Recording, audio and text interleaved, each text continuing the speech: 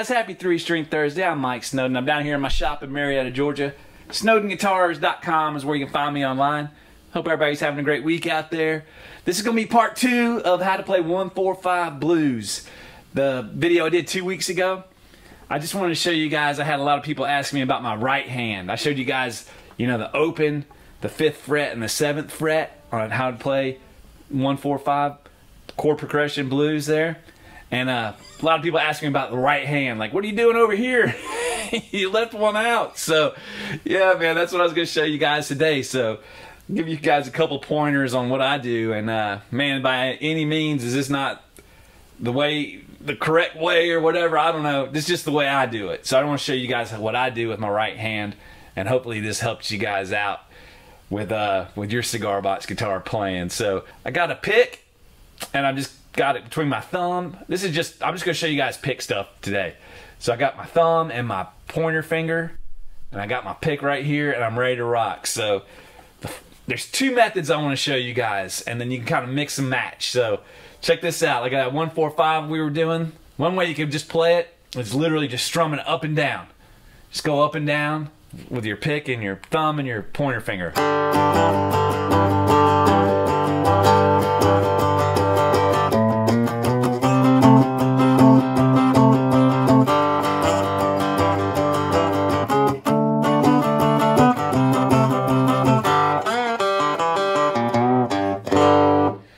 So yeah, that's just strumming up and down.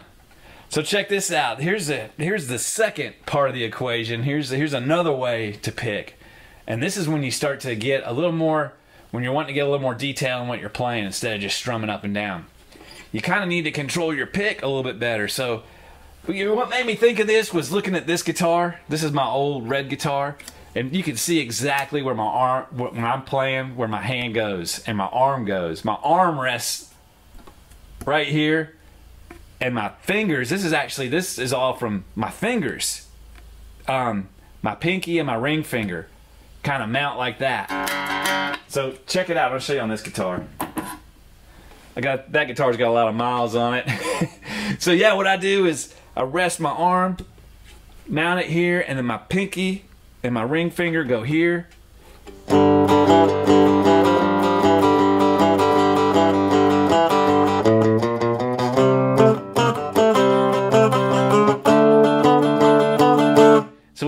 does is it gives me a lot more control over what I'm picking. And also I can, another tip is use the outside of your palm. That can rest on the strings, your two fingers, and your arm. Any combination of that, when, and when your when your hands, when your palm is on your strings, you can do a little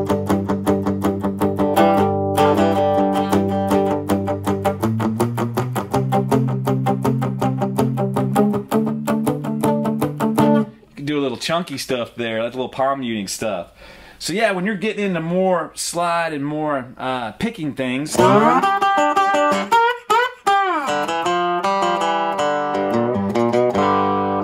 would be really hard to do if your if your hand is just out and your arm and your I don't, I don't know if I could do it, but.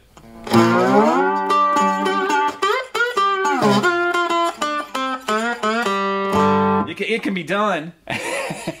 but I, I can't do that very well. I need something to, I need a mount, man. I need my hand to be in control.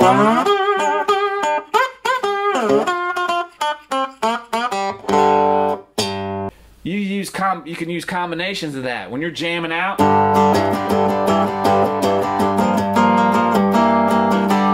But when you do want to do a little slide bit, I always mount my hand down.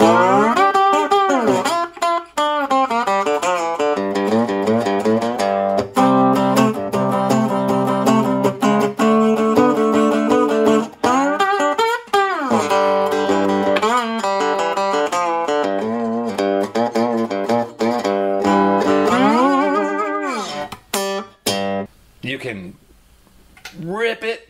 You can keep it a little more in control and anywhere in between that. You know, and also when you're playing, the further you pick back to the bridge,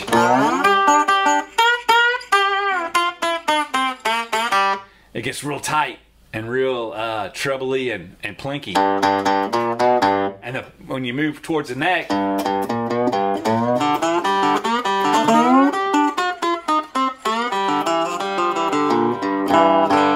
just get different tones depending on where you are. So that's another another another pointer that you probably already know. But also, the further you are back to the bridge, your strings are a little more predictable where they're going to be. The further you get away from the bridge, they, they vibrate more and it's hard to get a little accuracy. So keep that in mind too. So yeah, man, you can strum and let it rip. You can mount it down with your with your arm, your pinky, your ring finger, your palm. And it doesn't have to be mounted down like super glue.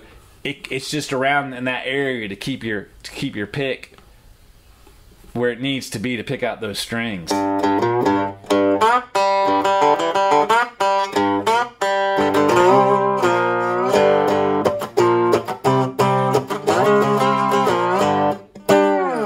by no means is that you know set in stone or a, a, rule or whatever it's just the way i play so man i'm hoping those little tips help you guys out rocking out on your cigar box guitar. So you guys have a great great week and i'll see you guys next week